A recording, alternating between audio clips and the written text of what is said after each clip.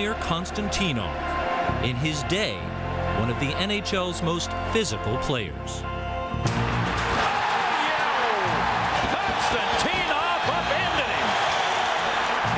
He brought it every night.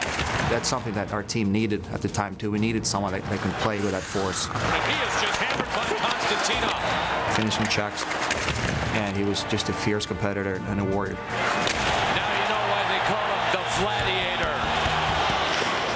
That was Konstantinov 12 years ago. This is Vladimir Konstantinov today. Good job. His world forever changed by events that took place in June of 1997. And the 1997 Stanley Cup Finals getting set to get underway. Konstantinov was a star defenseman for the 1997 Detroit Red Wings, who won the franchise's first Stanley Cup in 42 years. The Detroit Red Wings on the Stanley Cup champions.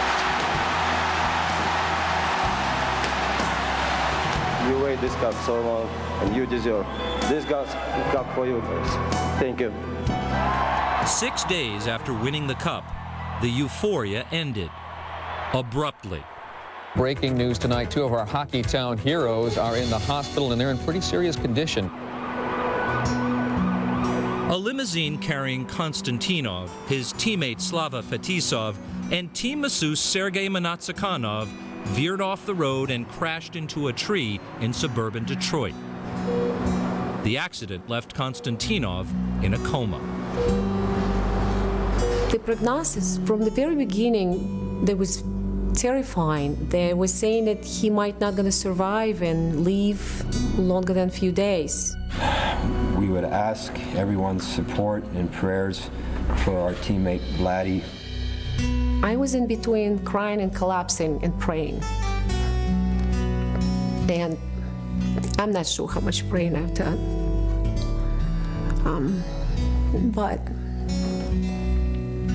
I think he's just uh, his own hero.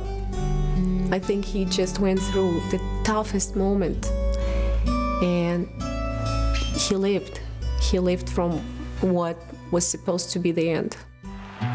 Fetisov suffered minor injuries, and Mnatsakanov was paralyzed below the waist. Konstantinov suffered brain damage and was initially unable to walk or talk. The following season, his teammates preserved his locker, and he became the inspiration in Detroit's quest for a second consecutive title. He was still a piece of our team. We wanted to win for, for Vladdy's sake. The Red Wings delivered the cup, literally, into Konstantinov's lap. Yzerman now gives the Stanley Cup to Vladimir Konstantinov. That poignant snapshot is the one many fans hold in their memory. Better. Three. But that image of helplessness is something Konstantinov has worked hard for 11 years to change. How are things going with uh, your exercise? Good. Are you feel like you're getting any better? Better. What's getting better? Ski, walk, walk. The walking's getting better? Today, Konstantinov has gained some level of independence. He is able to walk with assistance. While he still requires 24 hour care, he is capable of communication, comprehension, and sometimes even a little golf. And what else do you practice? Your short game or your long game? Short. Your short game he practices. Putting, so on. How do you do with your putting? Bad.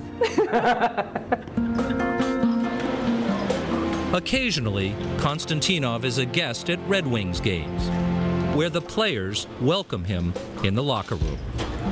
After the accident, he's slowly not going back to where he was, but I think he's trying.